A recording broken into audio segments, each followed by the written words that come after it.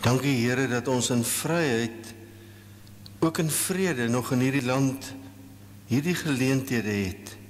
Laat ons dit ook met dubbele arms aangryp en in hande vashou omdat dit vir ons kosbaar is. Wil U vir ons ook seën in hierdie erediens? Laat ons ook met U in 'n ontmoeting tree. Gee dit daar ook vir ons geloofsversterking en verryking sal wees deur die woordverkondiging. Seën hom wat ook die woord moet bring en laat dit ook ingang vind in ons harte. Ons bid Vader dat U ons ook sal seën in die week wat voorlê in vergaderings en besonder dink ons hier aan die klassesvergadering wat hier by ons plaasvind. Dinsdag wil U dan ook daar die kerke lei en al hulle afgevaardigdes om ook besluite te mag neem tot die verheerliking van U naam. Ons bid Here dat U elkeen van ons ook in ons Bybelstudie en ons persoonlike omgang met U en ons gebede en skriflesing dat daar 'n hegte band tussen ons en U sal ontstaan, 'n liefdesband wat al meer en meer groei met die jare sodat ons hoe langer hoe meer ons sonde afsterf, die ou mens kruisig en in 'n nuwe lewe opstaan waarin u gees ons oorweldig, waarin u gees ons nuut maak en al meer en meer vorm na u beeld en u gelykenis. Vader, wil u vir ons seën as ons in ons ge, gewone werk van maandag tot vrydag of saterdag werk. Laat ons dit ook doen nie soos vir mense nie, maar vir u, omdat ons in u diens staan wil u vir ons seën wanneer ons kom en gaan en sit en gaan lê? As ons besluite neem as ons beplannings maak. Want ons kan sonder u nie lewe nie. Gee daarom dat dat ons ganse lewe deur u in beslag geneem sal word. Dat u vir ons die lewe sal wees en dat ons na u sal kyk vir rigting en leiding deur u woord en u gees. En dat ons ons ons oë gefestig sal hou op ons Here en verlosser Jesus Christus die leidsman van ons geloof die begin en die volëinder waarby ons hele lewe ingesluit is Ons bid ook Vader dat U met elkeen in ons gemeente sal wees, oud en jonk, siek en gesond, klein en groot. Seën ons waar ons kom, waar ons gaan en wat ons ook al aanpak. Maak ons stil vanaand voor U en gee vir ons hierdie aanbiddingsgeleentheid sodat ons met U in ontmoeting sal tree. Ons vra dit ter wille van Christus Jesus ons Here. Amen. Ons lees 'n klompie verse uit Matteus 4 en dan ook uit Matteus 11. En dan is ons teksgedeelte uit Genesis 49 vers 21. Matteus 4 vanaf vers 12. Toe Jesus hoor dat Herodes vir Johannes in die tronk laat opsluit het, het hy na Galilea toe gegaan Hy het nie in Nasaret gaan bly nie, maar hom gaan vestig in Kapernaum by die see in die gebied van Sebulon en Naftali. So word moes vervul word wat deur die profeet Jesaja gesê is: Jy gebied van Sebulon en gebied van Naftali aan die seekant en oorkant die Jordaan, Galilea waar die heidene woon. Die volk wat in duisternis woon, het 'n groot lig gesien. Hulle wat in die skemerland van die dood lewe, vir hulle het die lig opgegaan. Van toe af het Jesus begin preek en gesê: "Bekeer julle, want die koninkryk van die hemel het naby gekom." Eendag toe Jesus langs die see van Galilea loop, sien hy twee broers, Simon wat ook Petrus genoem word en sy broer Andreas. Hulle was besig om 'n werpnet in die see uit te gooi want hulle was vissers van beroep. Hy sê toe vir hulle: "Kom hier. Kom saam met my en ek sal julle vissers van mense maak." Hulle het dadelik die nette gelos en hom gevolg. Toe hy daarvandaan verder gaan, sien hy twee ander broers, Jakobus, se seun van Zebedeus en sy broer Johannes. Hulle was in 'n skuit saam met hulle pa besig om hulle nette reg te maak. Jesus het hulle geroep en hulle dadelik die skuit en hulle pa verlaat en vir Jesus gevolg. en dan kyk ons in Matteus 11 vers 20 tot 24 ehm um, hier praat Jesus dan nou van daardie dorpe waar hy gebly het. Toe het Jesus die dorpe waarin hy die meeste van sy wonderdade gedoen het, begin verwyd omdat hulle hulle nie bekeer het nie. Elende wag vir jou Gorisin, elende wag vir jou Betsaida. As in Tyrus en Sidon die wonderdade plaasgevind het wat in julle plaas gevind het, sou hulle hulle lankal in sak en as bekeer het. Maar ek sê vir julle, vir Tyrus en Sidon sal dit in die oordeelsdag draagliker wees as vir julle. En jy Kapernaum, dink jy jy sal tot die hemel toe verhoog word? Nee, jy sal tot in die doderyk afdaal. As in Sodom die wonderdade plaasgevind het wat in jou plaas gevind het, sou hy tot vandag toe nog bly staan het. Maar ek sê vir julle vir die land van Sodom sal dit in die oordeelsdag draagliker wees as vir jou. Dit is eintlik 'n verskriklike woord, né? Ons weet dat Sodom 'n verskriklike stad gewees het wat vol goddeloosheid was, né? en dan trek ons saam gedagtes saam in 'n kernvers 49 vers 21 Naftali is 'n takbok wat vry rondloop. Hy het 'n mooi nageslag. Jy is bewus daarvan dat ons die 12 seuns van Jakob behandel en elkeen is daar 'n seun uh spreek aan elkeen van hulle gegee. En nou dan hierdie een vir Naftali.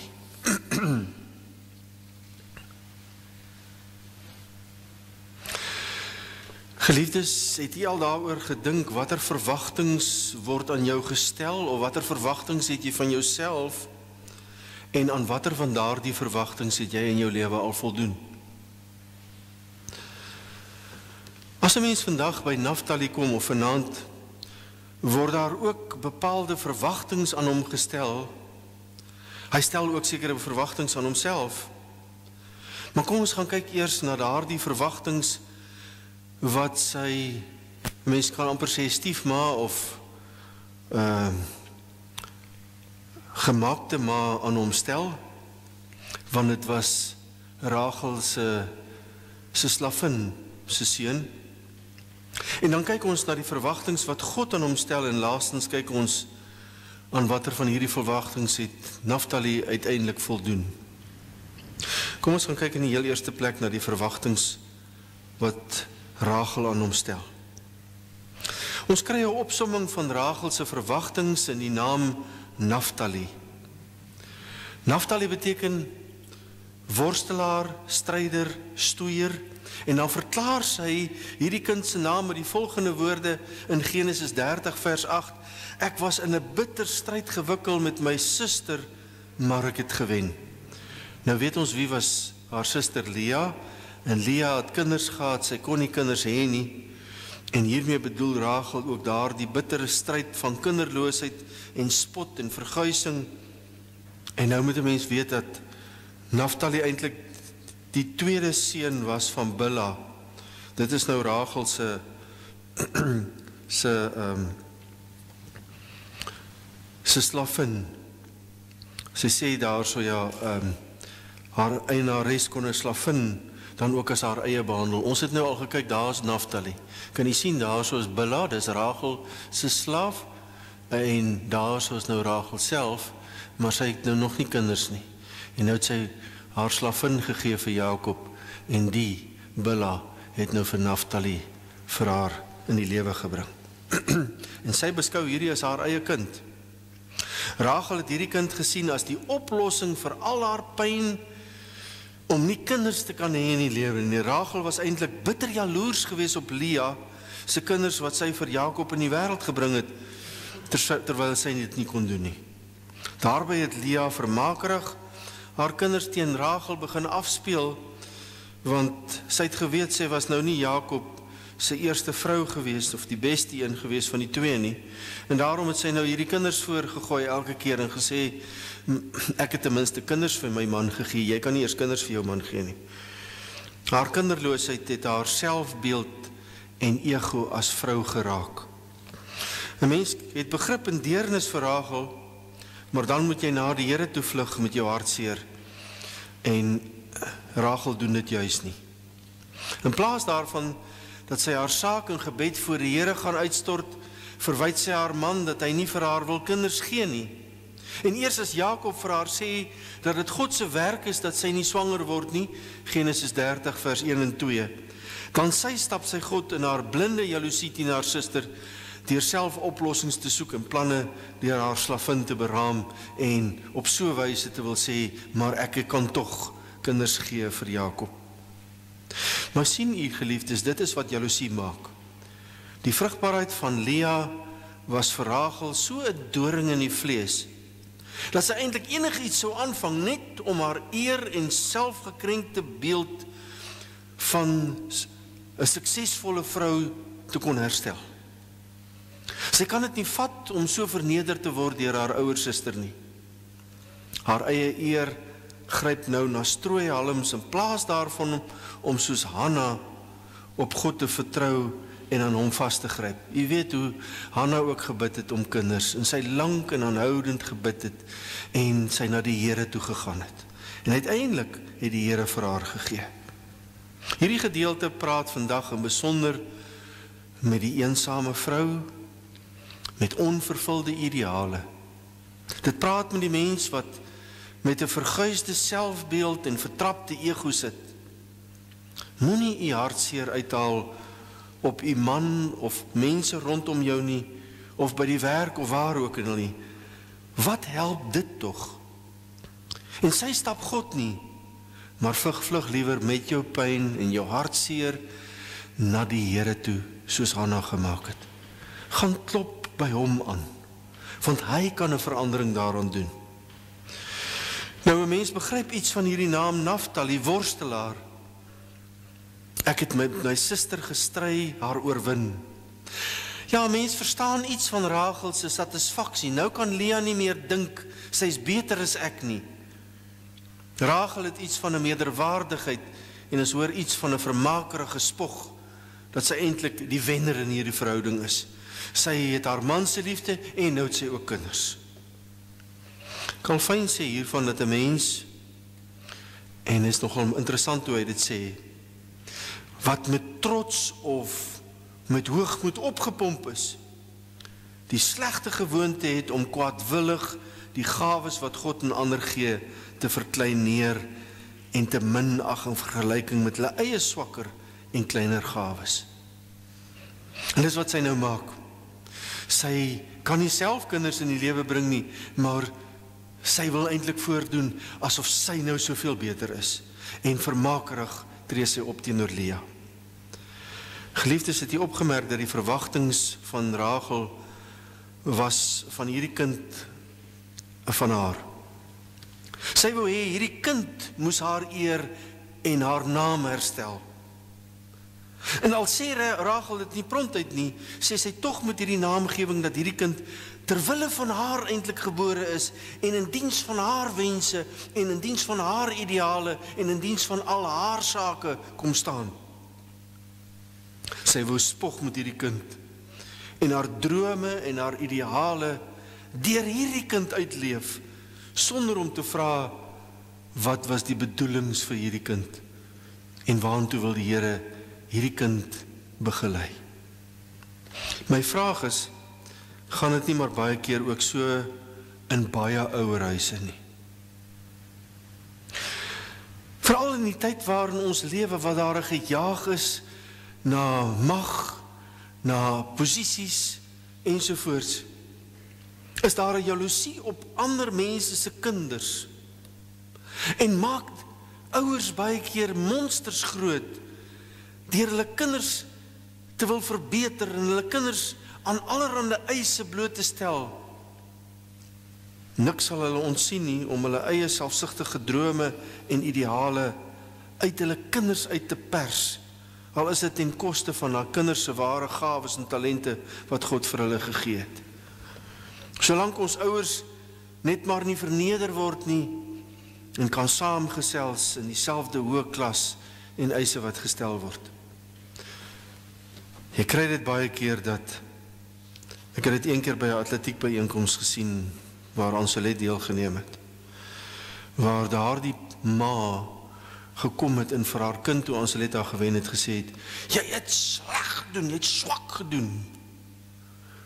Is of sy deur haar ideale wat sy nooit kon ver, vervul het as 'n atleet nie, deur hierdie kind probeer kry.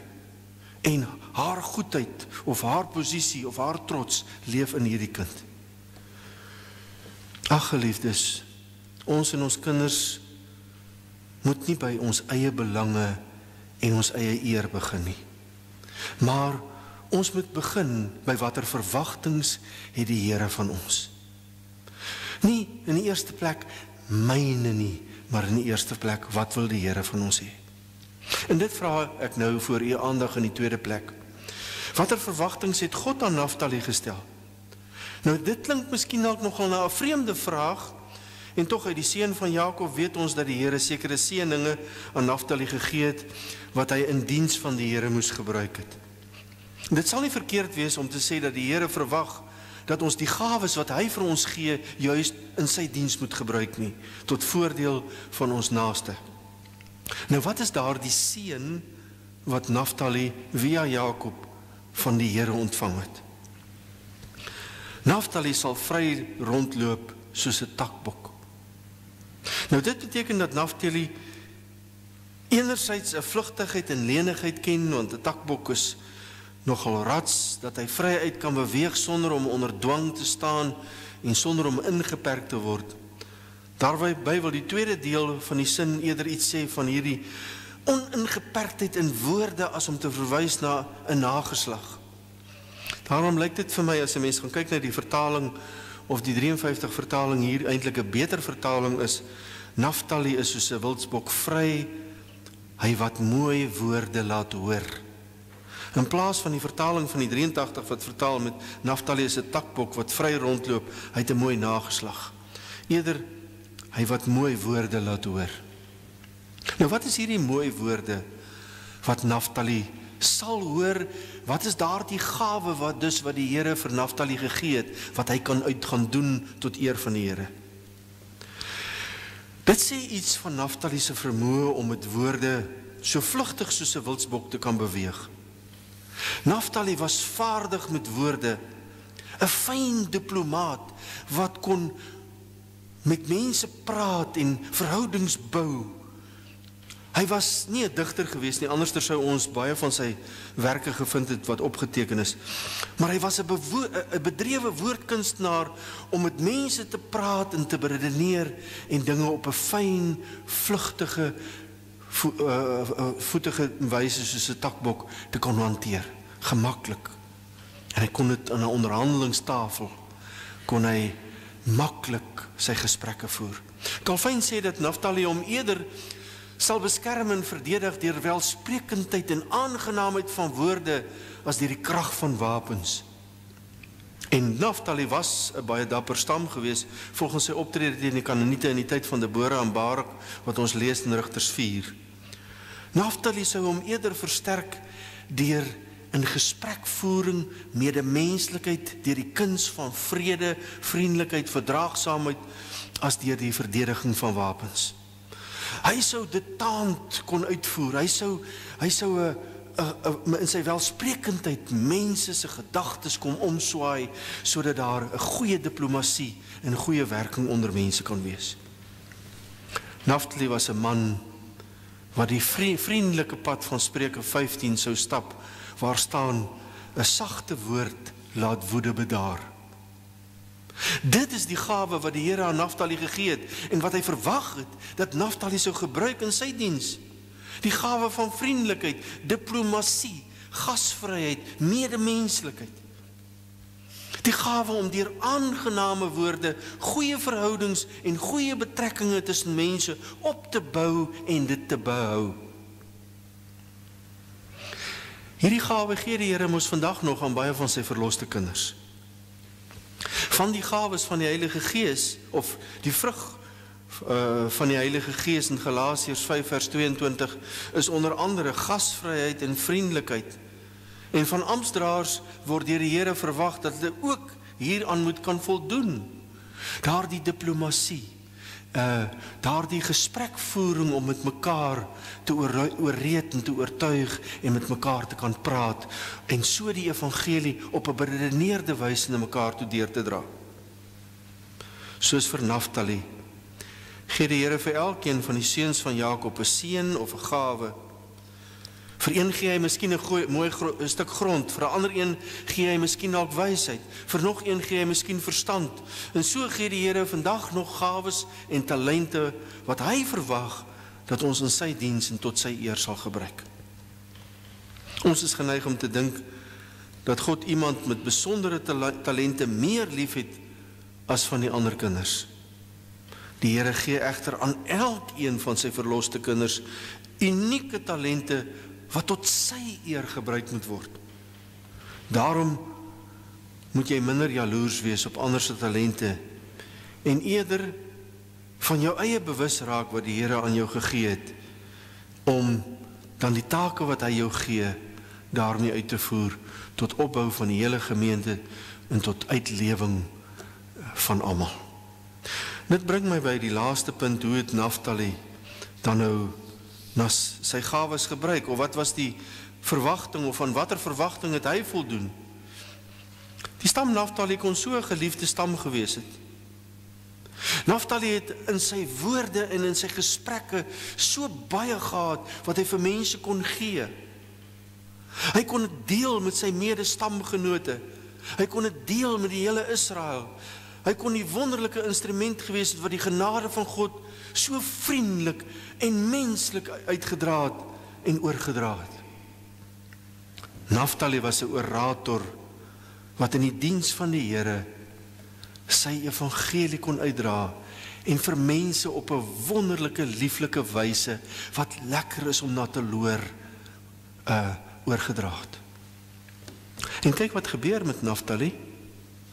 God kom met 'n stortvloed van sy wonders en genade deur sy seun Jesus Christus juis na die stam Naftali toe. Nou u sal sien daar bo is Naftali langs die meer van Galilea en hy praat nog daar see van Genesaret. nou hier in die gebied van Naftali by die dorpie Kapernaum. As mense gaan kyk nou na die volgende kaart dan sal u sien daar was Kapernaum, hier is daai stuk van die see en daar is ons die berg van verheerliking gewees, daai stukkie daar. En Hier is Betsaida. Ons gaan nou Gorisim was so omtrent daar gewees.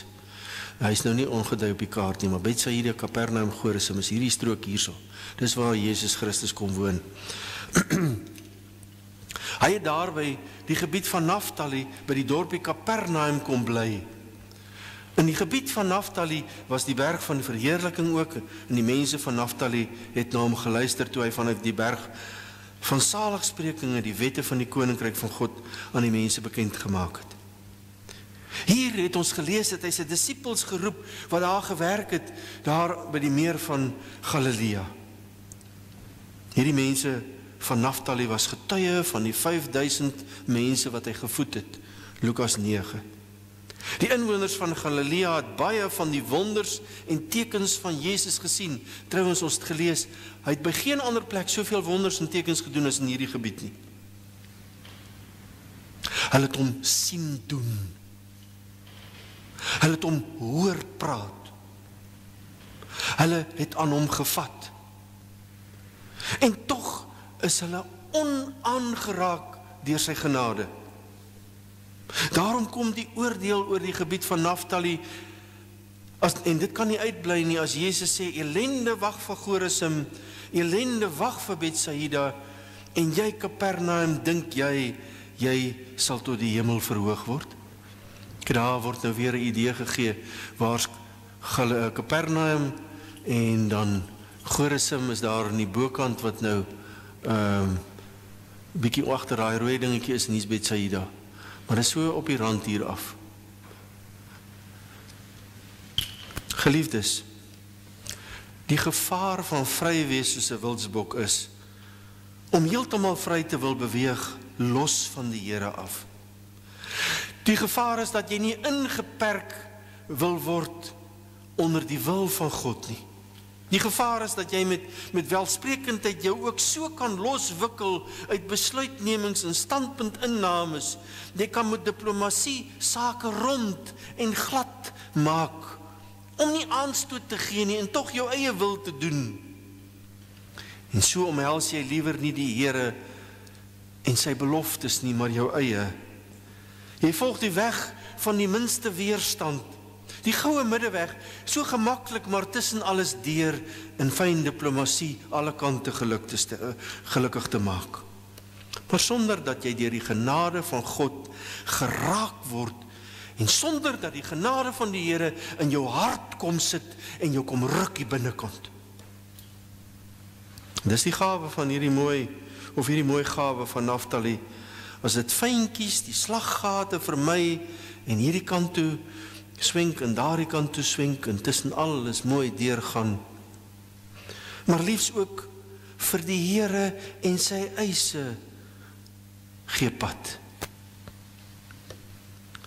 En dat jy al die opofferings van Christen wees vir my. Diplomat diplomaties vir my. Geliefdes, die Here dring ons deur sy seun tot doelbewuste keuses. Die Here roep, "Volg my." Die Here vra van ons elkeen dat ons nie mag in diplomatie fyn fyntjies rondom sy sake sy stap nie. Ons kan nie egalige draadsusters wil wees nie. Die Here sê was jy maar koud of was jy maar warm, maar die lou is wat hierdie middeweg soek, kan ek nie verdra nie. Die neelopers wat nie wil aanstoot gee nie, wat ook maar so met die stroom saamgaan, wat nooit standpunt inneem nie, wat nooit sê ek volg die Here, ek doen sy wil nie. Met hulle wil die Here niks te doen hê nie. Christus kom verlos ons juis om nou sy genade te weerkaats, om nou iets van hom in die wêreld te kom deurdra. Daarom moet ons geloofswerke gaan doen, liefdesdade gaan doen, sodat daar iets van Christus deur ons sal weerkaats. Dit vra keuses, Dit vra nie maar net 'n fyn diplomatie om rondom hierdie goedjies goeie voetwerk te doen nie. Nee, dit vra van my en jou opofferings. Dit vra van my en jou standpuntinname in hierdie wêreld. Al sou dit beteken vertroebelde verhoudings. Terwille van die eer van die naam van die Here, terwille van sy koninkryk, terwille van sy evangelie dan sal ons moet standpunt inneem. God stel sekere verwagtinge aan sy kinders. Hy verwag van my en jou sekere dinge. En ek en jy moet keuses maak. Voldoen ek en jy daaraan om sy disippels te wees, sy volgelinge? Voldoen ek en jy daaraan om besluite te neem agter hom aan? Al vra dit ook wat van my en jou. Amen. Hemelvader, gee dat ons nie sal wegduins vir die roepings waarmee U ons roep nie. Gee dat ons keuses sal maak om U te volg. Al is daar verguising, al is daar beledigings, al is daar dinge wat